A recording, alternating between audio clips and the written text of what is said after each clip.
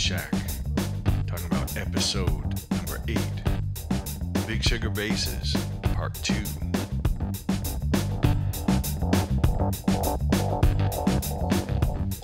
All right, this is a bass that got used a lot and still gets used a lot.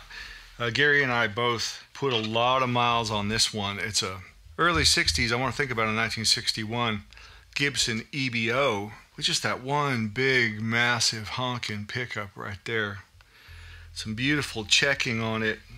Lord knows we weathered it our, ourselves. We relicked it, but we love that slotted headstock. As you can see, some of the lettering has started to flake off of there, unfortunately, and I don't know what can be done about that. Maybe something, I don't know. But the 1961 EBO showed up one day on tour. A young fella came up to us after a show, and back in those days, we had been using Ampeg SVT amps a lot. I was using them, Garry was using them.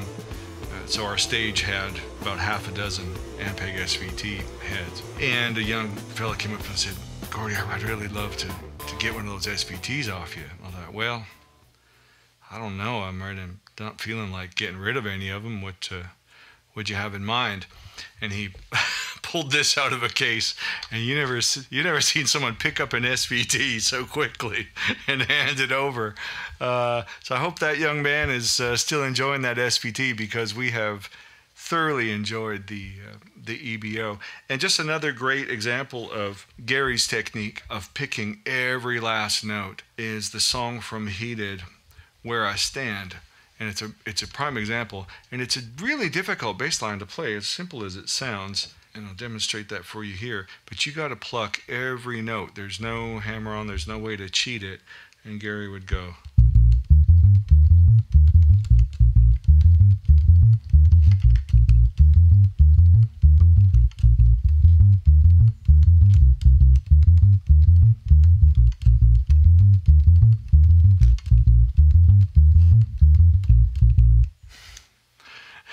So you can imagine after seven minutes of that, your, hand might get a little fatigued. Uh, a piece of vulcanized rubber underneath the bridge cover.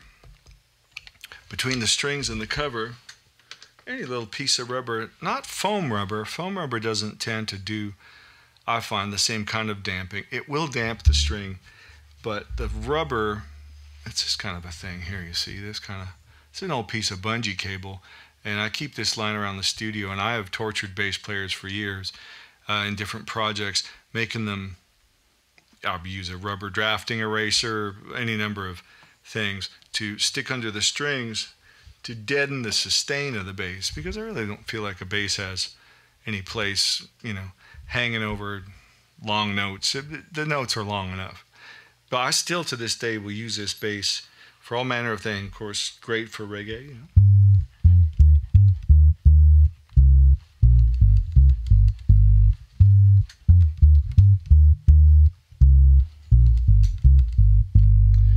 I use it a lot in Austin when I'm playing with Ray Arteaga, playing Cuban son, uh, and in any kind of folkloric music like that. This is a great instrument for that. Again, just because the notes really don't have any sustain to muddy up the arrangement, and, and it just has that great fundamental bottom end.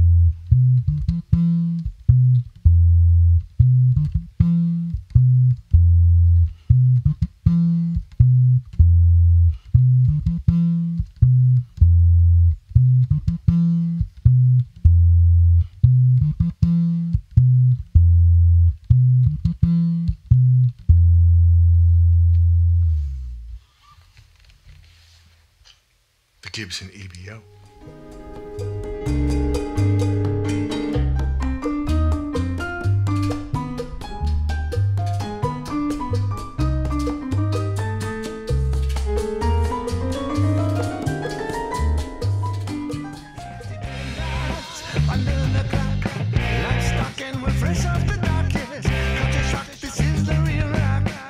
There were many different bases in our touring arsenal and uh, they were scattered all around.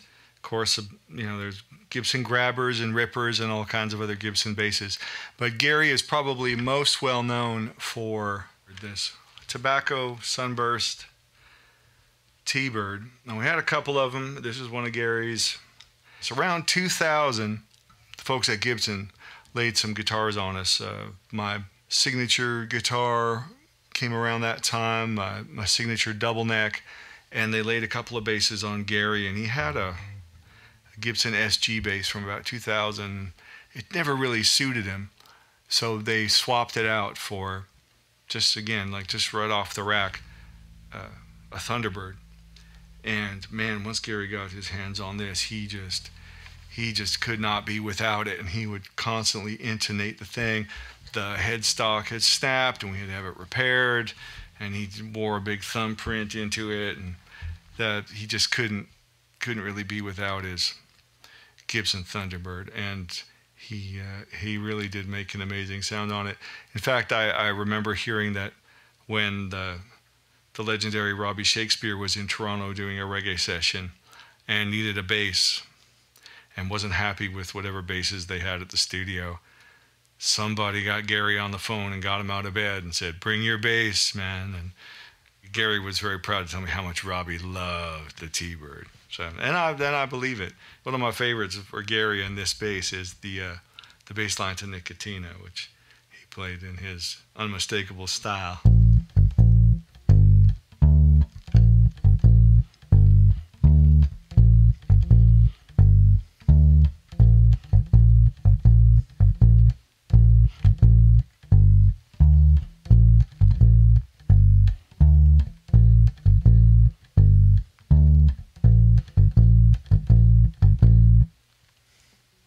So there's the Gibson T-Bird.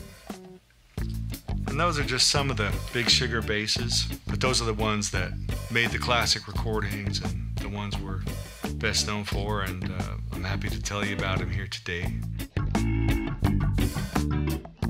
know, back in December of 2018, we had a truly magical night and uh, a fitting tribute to the life and legacy of our dear friend and brother Garry Lowe after he passed from cancer. And we had such an amazing night of music.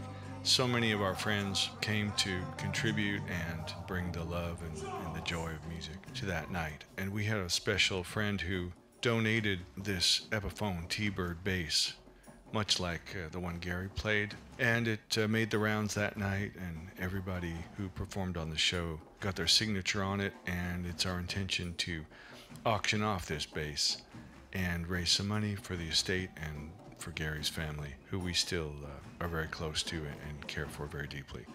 So uh, be looking for that on eBay. We will be posting that on all of our social medias, where and when that auction goes up. Hopefully, we can raise some money with the sale of this uh, one of a kind rock and roll artifact. GJ in the Soundshack.